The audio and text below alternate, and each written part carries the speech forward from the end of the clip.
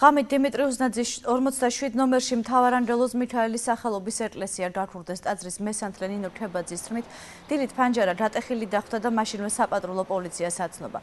როგორც ტაძრის ერთ-ერთი მსახური ნიკა ესაკია ამბობს, დატეხილია შესაწერი ყუთი და დაზიანებულია საეკლესიო ნივთები. მომხდარზე მიმდინარეობს გამოძიება.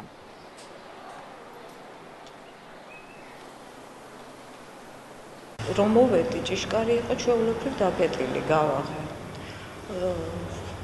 საკურთხევლის კარი იყო ღია, ჩულანი იყო გამოგლეჯილი და დავრეკი საპატრულოში.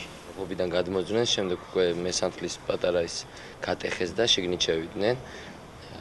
კატეხეს საეკლესიო შესაწირი ყუთი და შემდეგ შევიდნენ საკურთხეველში. დააზიანეს ბევრი რაღაცა და ნუ წავიდნენ. რა წაიღეს კონკრეტულად, ნუ თანხა კატეხეს აი ეს შესაწირი ყუთი და რა თანხა იყო იმის ჩვენ არ ვიცით.